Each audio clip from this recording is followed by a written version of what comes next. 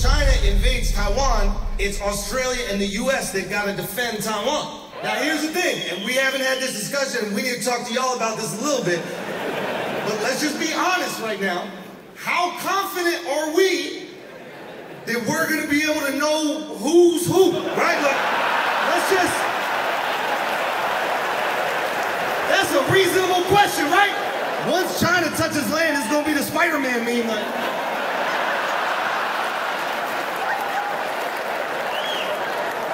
We're gonna have to do shirts and skins for that one now. We gotta do China, you guys will be shirts, obviously, because that's where they're made. And do you think you could tell a Taiwanese, bro?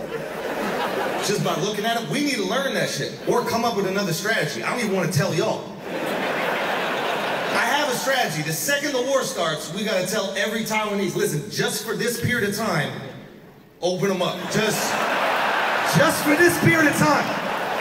It's like Friday Night Lights. Round eyes, full hearts, can't lose?